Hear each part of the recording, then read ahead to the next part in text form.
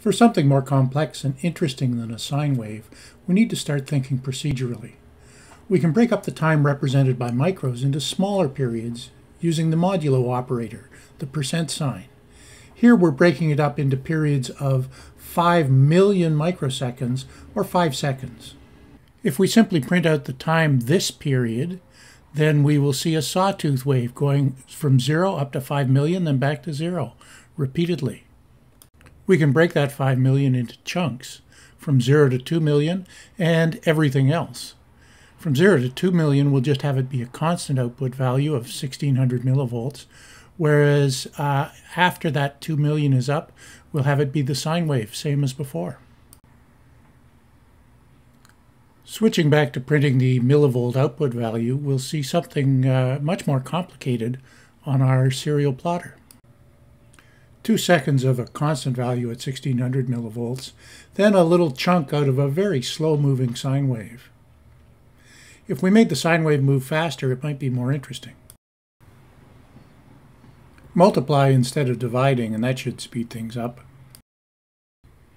Two seconds flat, and then three seconds of an oscillating sine wave, and then back to two seconds flat. It just keeps repeating.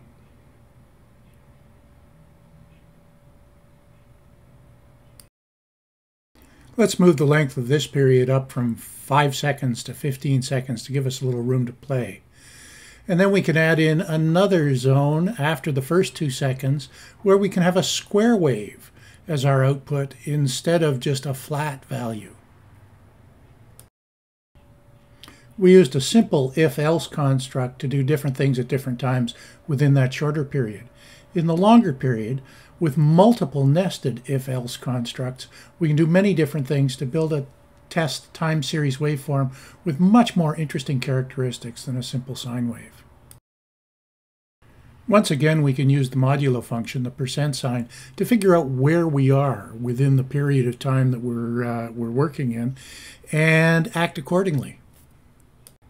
We join the time series in progress and see some sine waves.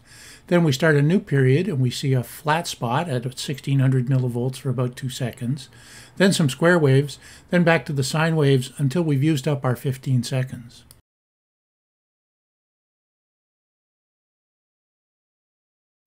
Then a new period starts with another flat spot at 1600 and the whole process repeats again.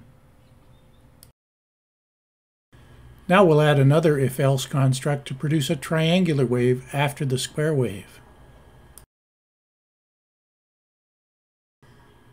That triangular wave is going way faster than I meant it to, so I think I'll have to slow it down by changing the constants involved.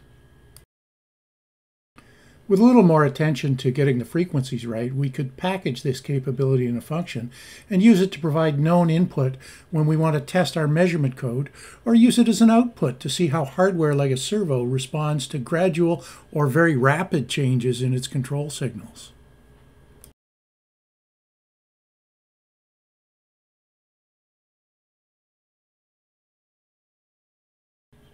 Those triangular waves look a lot better.